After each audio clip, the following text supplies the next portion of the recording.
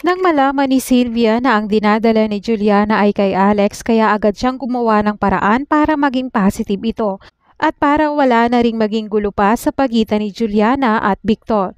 Pero dahil hindi titigil itong si Alex na basta na lang siyang iiwan ni Juliana kaya gumagawa rin siya ng paraan kung paanong makikipagkita si Juliana at gumagawa siya ng ikakasira ni Victor kay Juliana. Samantala, dahil patuloy pa rin ang paghihinala ni Victor kay Juliana, kaya tinanong niya ang doktor kung kailan manganganak itong si Juliana.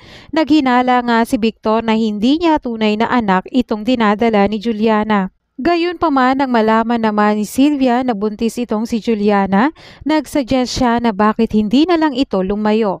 Ang gusto nga ni Sylvia ay wala nang maging gulo pa at dahil may anak na si Juliana at Alex, kaya mas lalo silang hindi mapipigilan sa kanilang pagmamahalan. Kaya nga ang suggest ni Sylvia ay bakit hindi na lang magpakalayo-layo itong si Juliana. Dahil nga alam na ni Sylvia na hanggang ngayon ay niloloko pa rin siya ni Alex, kaya kinumpronta niya na ito na may babae pa rin siya. Sa galit nga ni Sylvia ay nasampal niya itong si Alex. Pero hindi rin napigilan ni Alex ang sarili niya at nasampal niya din itong si Sylvia at sinabi niya na hindi naman siya magawang bigyan ng anak nito. Kaya sa sobrang sakit na marinig ito ni Sylvia, siya ay umiiyak at nakita ito ni Amelia. Pagtatanong nga ni Amelia kay Alex na ano ang ginawa niya. Nasabi naman ni Alex na meron siyang hindi magandang nasabi kay Sylvia. Kaya nga itong si Amelia ay galit na galit din kay Alex at nasampal niya ito. Dagdag pa ni Alex na alam na ni Sylvia ang totoo na nagkikita pa rin sila ni Juliana. Gayun pa man, ganun din si Victor galit kay Julian nang malaman niyang tuloy pa rin ang relasyon nila ni Alex. Samantala, gusto ngang makita ni Juliana si Abby pero ayaw na ni Victor dahil ayaw niya na madamay pa si Abby sa nangyayaring gulo at gusto niya na magbayad itong si Juliana sa panloloko nila. Pagbabanta pa nga ni Victor kay Juliana na sisiguraduhin niyang mabubulok ang dalawa sa kulungan. Dahil ayaw naman ipakita ni Victor si Abby kay Juliana, kaya nagpatulong na itong si Juliana kay Alex.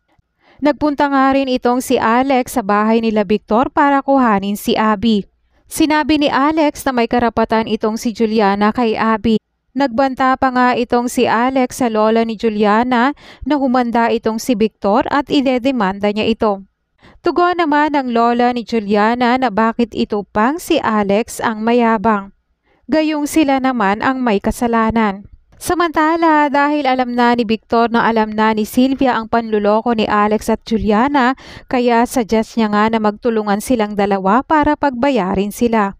Hindi naman ganun yon kadali para kay Sylvia dahil mahal niya pa itong si Alex at ayaw niyang masira ang relasyon nila.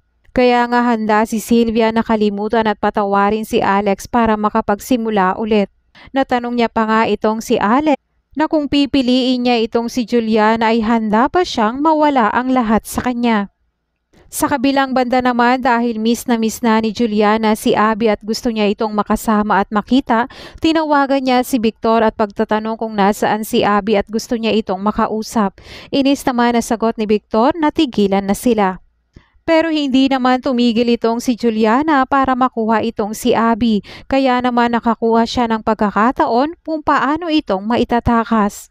Nang malaman naman ito ni Victor ay galit na galit siya na kinuha itong si Abby. Hindi nga rin siya titigil at sa galit niya ay nasabi niya na pinipilit siya at sinasagad na siya na maging masamang tao.